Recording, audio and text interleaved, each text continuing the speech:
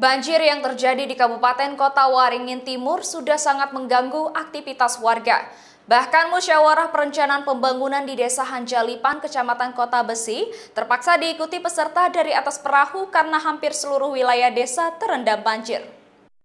Sudah lebih dari satu bulan terakhir, Desa Hanjalipan, Kecamatan Kota Besi terendam banjir. Berbagai cara dilakukan agar aktivitas masyarakat dan pembangunan desa bisa terus berjalan termasuk dalam melaksanakan musyawarah rencana pembangunan desa atau Musrenbang Des selasa lalu. Akibat wilayah desa yang dilanda banjir, peserta musyawarah terpaksa mengikuti kegiatan tersebut dari atas perahu. Sedangkan pemerintah desa selaku penyelenggara Musrenbang Des berada di teras rumah yang berbentuk panggung. Meski dikepung banjir, namun musyawarah tahunan yang merupakan agenda wajib tersebut dapat dilaksanakan bersama warga dengan baik dan lancar.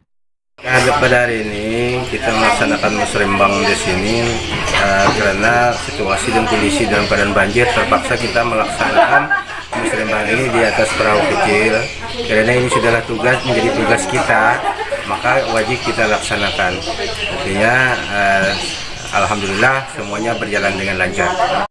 Sementara itu, banjir yang melanda desa Hanjalipan sejak lebih dari satu bulan terakhir Kondisinya belum juga surut dan bahkan semakin parah. Di beberapa titik tertentu, ketinggian banjir bahkan ada yang mencapai 2 meter. Seluruh bangunan rumah warga termasuk fasilitas umum yang ada di desa tidak lepas dari rendaman banjir. Jumlah warga terdampak berjumlah sebanyak 1.700 jiwa lebih. Kita lihat bersama bahwa pelaksanaan Musrenbang Des tersebut dalam keadaan uh, banjir ya karena debit air terus naik. Ini kedalaman air sudah uh, eh, 2 meter lebih.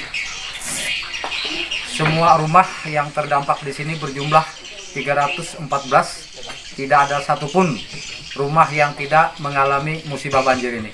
Kemudian uh, jumlah jiwa yang terdampak 1742 uh, dengan jumlah kakak 462 kakak Banjir akibat cuaca ekstrim yang melanda kota Waringin Timur ini merupakan banjir yang terparah.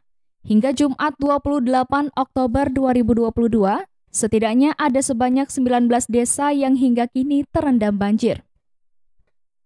Dari Sampit Kabupaten Kota Waringin Timur, Kalimantan Tengah, Norman Syah, iNews melaporkan.